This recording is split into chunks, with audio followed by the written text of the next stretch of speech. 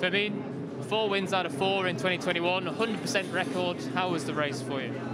Uh, I'm very happy with this weekend because in all season I push too much and I I make a good time. And in the race I push in the start, I put my ring, and in the end I win. I'm very happy and thank you to all my team, to all my sponsors and my family.